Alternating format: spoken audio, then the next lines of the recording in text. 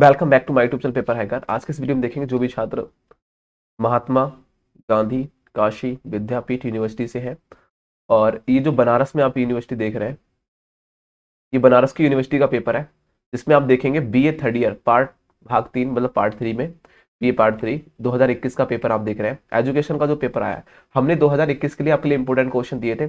वही आपके पेपर में आए हैं जो हमने क्वेश्चन आपको इंपोर्टेंट दिए थे पेपर से पहले, ठीक है?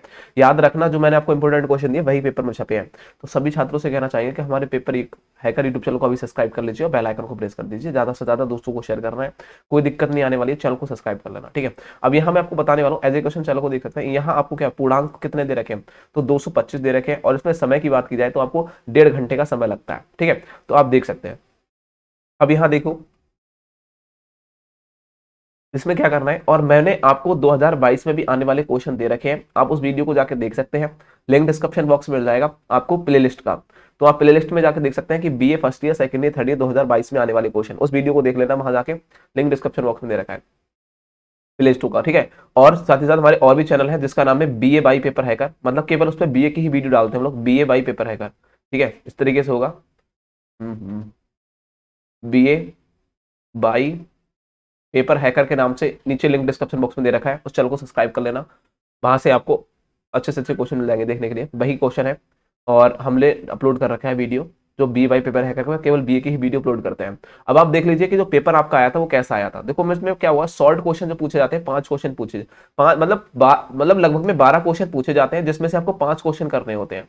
ठीक है? तो पंद्रह नंबर का एक है, पिछहत्तर नंबर के क्वेश्चन हो जाते हैं। वेरी शॉर्ट इसमें फाइव क्वेश्चन करने थे आपको 2021 का पेपर आप देख रहे हैं। तो पहला क्वेश्चन था, वातावरण में किए गए दो अध्ययनों पर उल्लेख करना है कि वातावरण में कौन कौन से दो अध्ययन किए गए हैं, उनके बारे में बताना है। और कह रहा है, जिस यहाँ बोला, जिससे उसका बाल विकास पर महत्व के सिद्धांत के बारे में बताना है। और उसमें बाल विकास का जो सिद्धांत है, वो महत्व किस तरीके से सिद्ध करना है, ठीक है?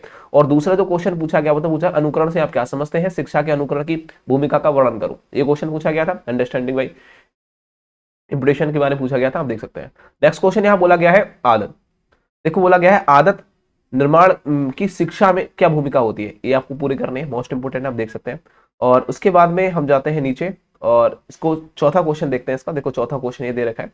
चौथा क्वेश्चन है कि बच्चों की शिक्षा में मूल प्रवृत्तियों का क्या महत्व होता है? बच्चों की जो शिक्षा होती है, उसमें मूल प्रवृत्तियों का क्या महत्व होता है? उस महत्व के बारे में देख रहे है। जो हमने क्वेश्चन दिए थे, वही क्वेश्चन आपके पूरे के पूरे क्वेश्चन भी फंसे थे।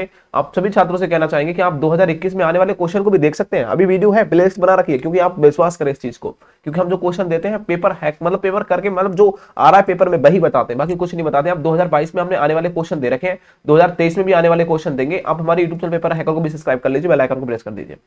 यहाँ बोला बोला गया है, बहुलांक से आप क्या समझते हैं? बहुलांक सूत्र को लिखिए, निम्नलिखित प्रदंतों से, ठीक है? बहुलांक गणना कीजिए। ये बहुलांक दे रखे हैं, इसकी आपको गणना करना है।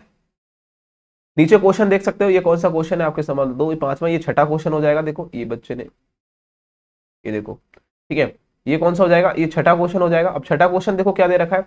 छठा क्वेश्चन दे रखा है, देखो, यहाँ बोला गया है, जो मापन और मूल्यांकन में आप क्या समझते हैं? मापन और मूल्यांकन की परिभाषा दे रखी है। मापन और मूल्यांकन में अंतर आपसे देखो पूरा क्वेश्चन भैया आया था, जो क्वेश्चन मैंने इंपोर्टेंट क्वेश्चन दिया था, और कह रहा है, किसी परीक्षण को वैधता क्या होती है? किसी परीक्षण की वैधता के बारे में और उसके विभिन्न प्रकार की विवेचना करिए। ये क्वेश्चन बना है, देखो।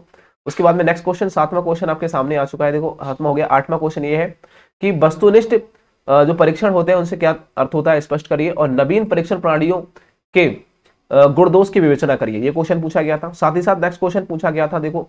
यहाँ बोला गया है कि दर्शन का क्या तात्पर्य होता है। और शिक्षा दर्शन से आप क्या समझते हैं? शिक्षा दर्शन से मोस्ट इंपोर्टेंट है हर साल क्वेश्चन पूछा जाता है आदर्शवादी हर बात हर साल पूछा जाता है आदर्शवाद शिक्षा का आदर्शवाद क्या होता है ये बहुत ज़्यादा पूछा जाता है योगदान के बारे में।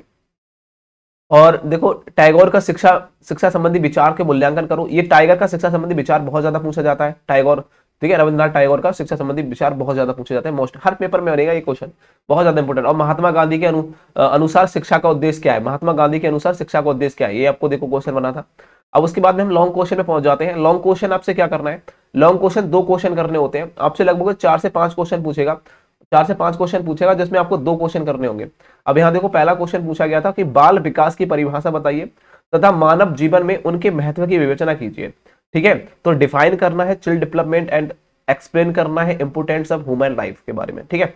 चलो नेक्स्ट क्वेश्चन यहाँ बोला गया है। इसको देखो, बोला गया है कि वंशानुक्रम और मैम वातावरण से अब क्या तात्पर्य है? मतलब वंशानुकरण और वातावरण किसे कहते हैं? और एक बालक के विकास में वंशानुकरण और वातावरण के सापेक्षित महत्व क्या है? वो आपको देख लेना है ठीक है? और उसके बाद में नेक्स्ट क्वेश्चन पूछा गया है आप देख सकते हैं कि एक अच्छे जो दूसरा क्वेश्चन पूछा गया था आप जो अच्छा लगे वो कर सकते हैं। एक अच्छे मा, जो मापन उपकरण की प्रमुख विशेषता क्या है वो आपको बताना है। और सदोहरण व्याख्या कीजिए, ये आपको करना है। तो ये क्वेश्चन थे 2022 में आने वाले क्वेश्चन सॉरी 2021 के पेपर है।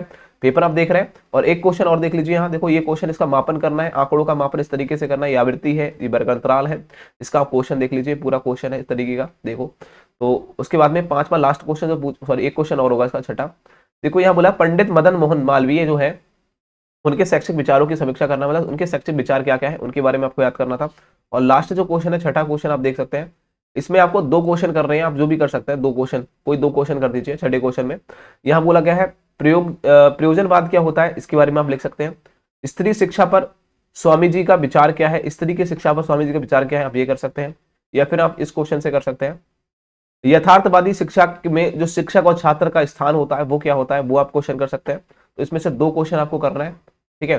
केवल दो क्वेश्चन करना है, देख सकते हो। आप दो क्वेश्चन यहाँ करने थे, तीन क्वेश्चन यहाँ दे रखे हैं, तीन में से आपको दो करना है। जो आपको अच्छा लगे वो कर सकते हैं।